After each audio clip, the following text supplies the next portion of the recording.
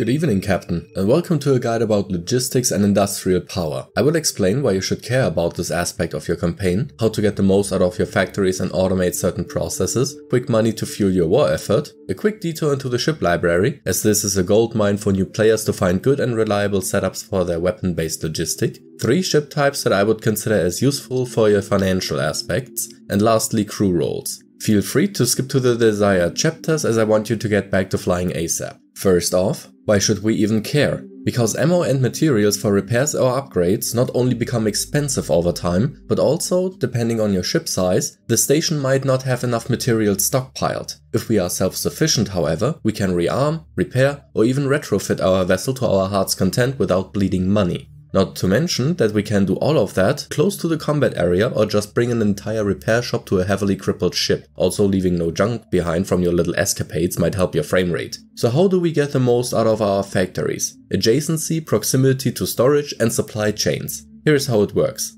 Adjacency bonus means that every factory that has another one next to it will get a 25% bonus that is stackable meaning that we ideally want a cluster with as many connected factories as possible, which would look like this for example. Side note, the diamond factory provides the buff, but doesn't profit itself as it doesn't have a production rate. When it hits 20 carbon, a diamond is formed.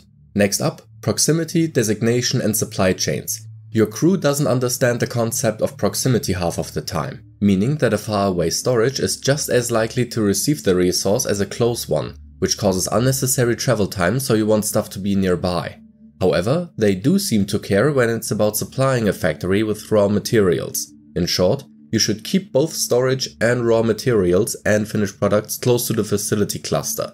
Having the cluster central in your storage area would be perfect, acting as a border between raw resources and materials. Designation is dedicating a tile or entire storage to one resource. This helps us in four ways. First, the storage won't get cluttered with other stuff, and second, it counts as a point that needs supply. Your crew won't get the produced materials out of the factory unless something needs it. Like another factory, storage with designated resources, or a receiver in a supply chain. Second, designations are great if you want a finite production loop. If the tiles are fully stacked, your factory will cease production. Third, if you right click on a resource during trading, you can click Sell Surplus which only sells materials that are not on a designated tile. Don't be surprised if you have some stacks left though. The production tiles within your factory also count, and if they are empty, steel smelter for example, you will still have 80 additional steel plates sitting around in your general storage. Fourth, remember our proximity problem and how it doesn't seem to happen with supplying a factory. If you put designated tiles for raw materials near your factory,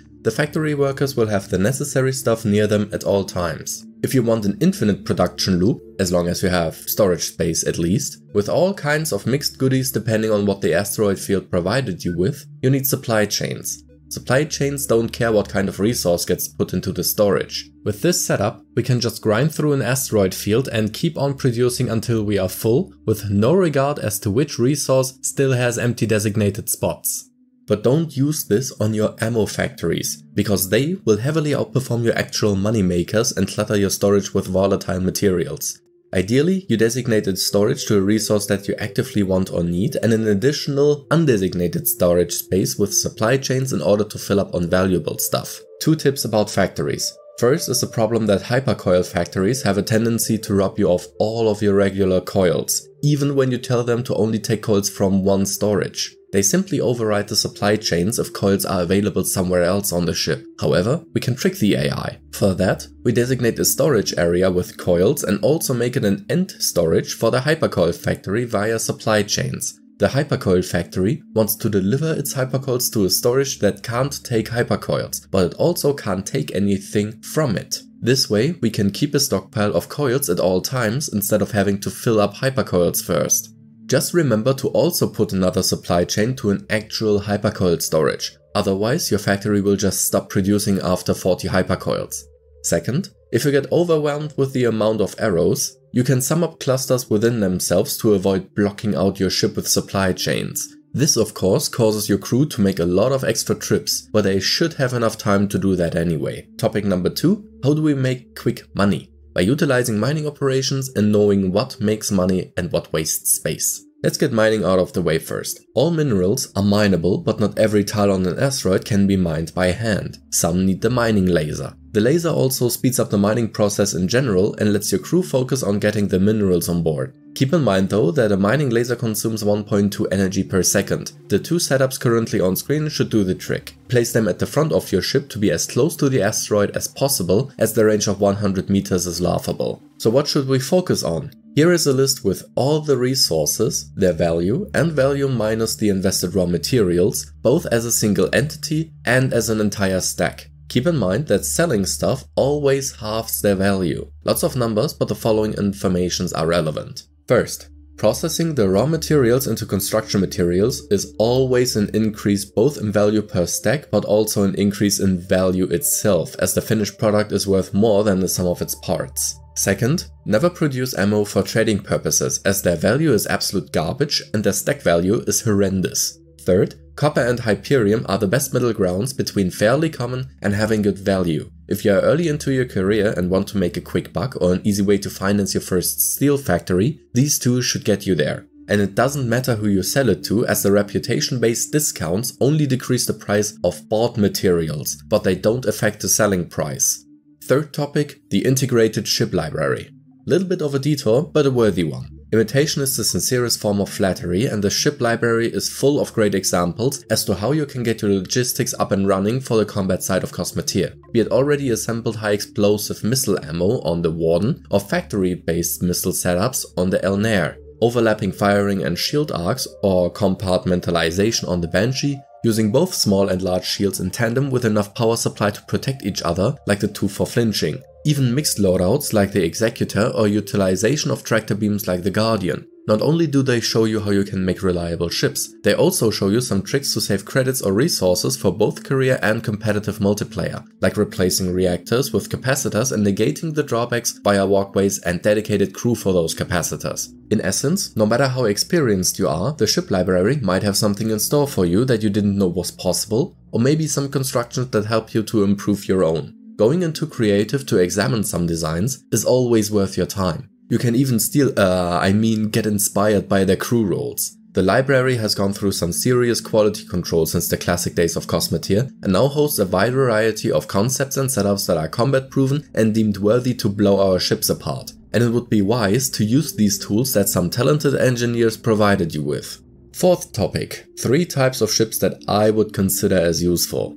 First one is your standard mothership, which eats asteroids and wrecks and in general is a hulk of a ship, designed to be a mobile shipyard and production facility. Keep it close to allied stations, protect it while on a supply run, and gift it some armor and point defense systems. Even with a considerable amount of engines, you won't be able to outrun your enemies, depending on how much you go overboard with cargo space. So you want armor and point defense to shoot down long range weaponry and also prevent ballistic projectiles to set your storages on fire, while your combat ship needs a few seconds to engage. Also, to speed up the process of gathering and refining materials, make your corridors at least two tiles wide, use walkways in both directions, use multiple airlocks across your ship so your crew can get on board quickly, and invest into hyperdrives. Lots of time saved if you just jump to stations. Second one is a ship that I wouldn't consider a replacement for a mothership, but still useful as a support craft that also acts as a mobile repair shop and, in the worst case, has a structure cage at the front to get the carcass of a warship back to the mothership.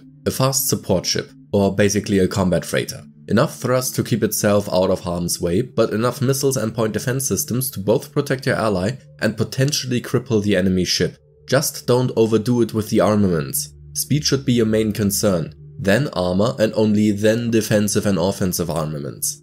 If your support ship can't stay away or can't keep up with your combat ship, it won't be able to help or even worse drag the combat group down. Definitely not a necessity, but in my attempted playthroughs on Grand Admiral with Starride Economy, I have come to appreciate a support-oriented, less expensive pocket mothership. Last one might be a bit overkill, but hey, if you get one working, it's a gold donkey in metal clothing. Sundivers.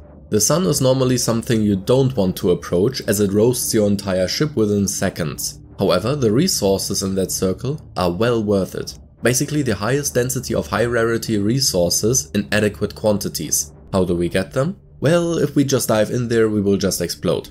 Thankfully, shields deflect that radiation damage as long as they are sufficiently supplied. but do yourself a favor and overlap them at every opportunity as a smaller exposed arc reduces the workload of the individual shields, meaning that you can get almost into touching distance of the sun even with small shields and medium reactors. Don't fly into it though. While we are vastly superior to Icarus, we still shouldn't dive headfirst into plasma. So now our ship survives. Unfortunately, I can't say the same for the crew. We can't mine here as both the shields and other asteroids don't count as cover. Our labor force is going to unwillingly retire either way. Instead, we will use tractor beams to carry the asteroids outside of the radiation where we can safely get the resources. A few things about Sundivers. Keep your ship small. No armaments, next to no armor and no storage space. You want a small profile and your tractor beams will make that hard enough as they can't shoot through each other. Speaking of which, you want enough thrust to carry an asteroid outside. Yes, but if you don't have enough tractor beams, they won't be able to pull the asteroid in the first place and also remember that a single tractor beam eats up an entire power supply of a medium generator.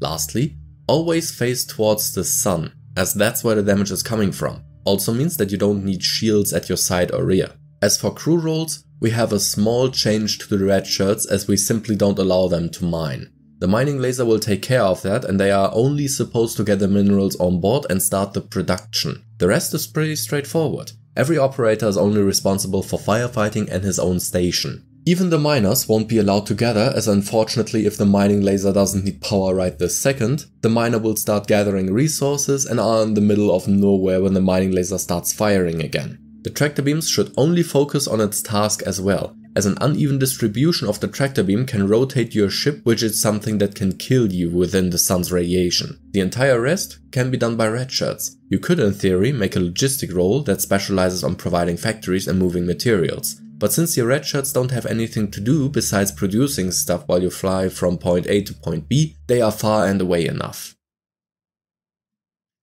This should cover everything you need to know to make a profit outside of mercenary contracts. Feedback and your own tips and tricks are always welcome in the comment section. I haven't decided whether the next video is going to be a guide or something different, but don't worry, it's going to be Cosmoteer based like you've decided with the last poll. Enjoy your next voyage, Captain Caffeine signing off.